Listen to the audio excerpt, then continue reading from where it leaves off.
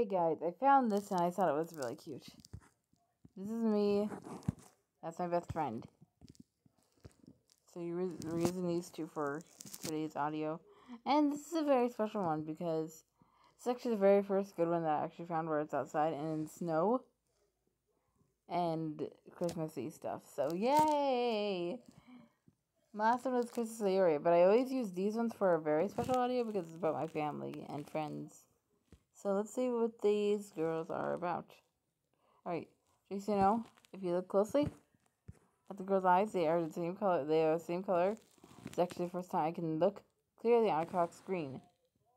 I'm making a new phone this year, so just leave if I can if you guys can leave a comment this time on this video, leave down what you got for Christmas, what you make it for Christmas this year, and tell me what your favorite activity is on Christmas Day. Okay, here we go. Let's start. I was always a big fan of Christmas stuff, so was my best friend. Me and her always went outside and played in the snow. We made snow angels, snowmen, and probably a snow bear as well. My favorite thing was to make snow animals.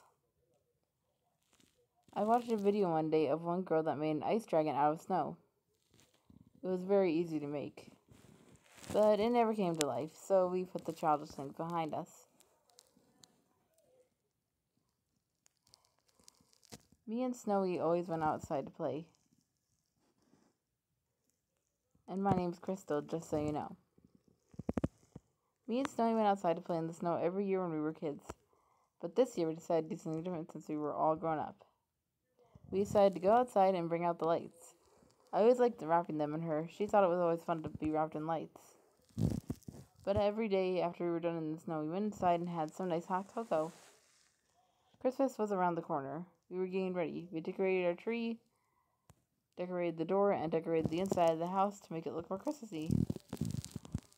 But with Christmas approaching, we didn't have much time to do anything else. So we decided for the day we relax and decided to just watch a movie. I have a lot of favorite good movies. My most favorite one was Santa Claus. And that was the best movie I ever watched.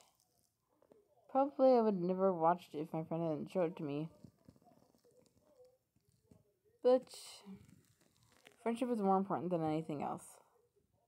And so is family. Family is more important than anything else you can find on Christmas.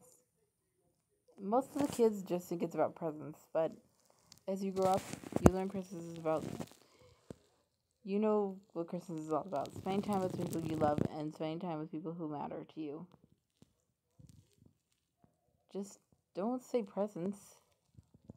You just gotta say family because that's what Christmas is all about spending time with your family and friends. Mostly, I would just think spending time with my best friend is the best thing I could ever wish for.